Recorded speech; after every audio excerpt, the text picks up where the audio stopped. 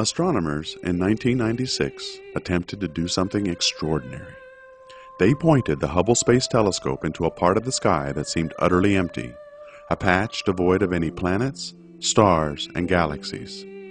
This area was close to the Big Dipper, a very familiar constellation, and the patch of sky was no bigger than a grain of sand held out at arm's length.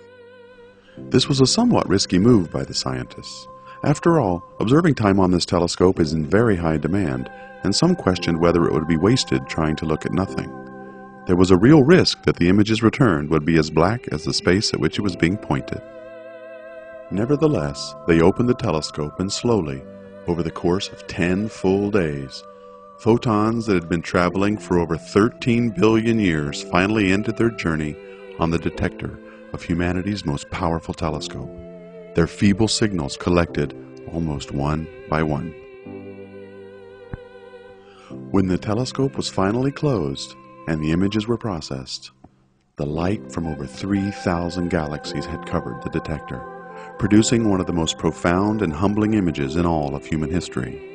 Every single spot, smear, and dot was an entire galaxy, and each one containing hundreds of billions of stars.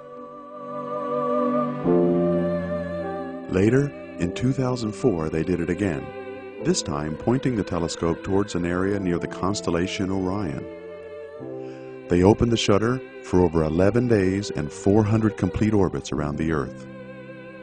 Using detectors with increased sensitivity and filters that allowed more light through than ever before, over 10,000 galaxies appeared in what became known as the Ultra Deep Field an image that represented the farthest we've ever seen into the universe.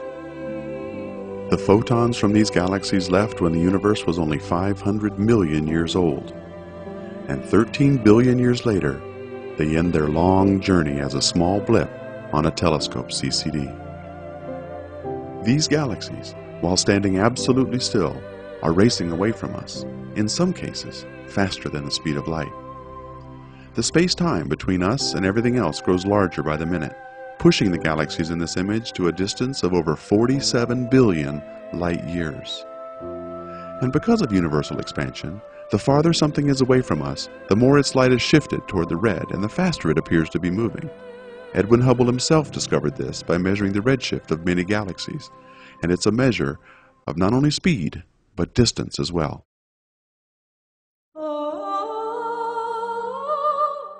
Recently, Hubble scientists put the icing on the cake. Using the measured redshifts of all the galaxies inside the image, they made a 3D model of the ultra-deep field. This is how it looks when we apply the distances of the galaxies in the most important image ever taken. There are over 100 billion galaxies in the universe. Simply saying that number doesn't really mean much to us because it doesn't provide any context. Our brains have no way to accurately put that in any meaningful perspective. When we look at this image, however, and think about the context of how it was made, and really understand what it means, we instantly gain the perspective and cannot help but be forever changed by it. We pointed the most powerful telescope ever built by human beings at absolutely nothing, for no other reason than because we were curious, and discovered that we occupy a very tiny place in the heavens.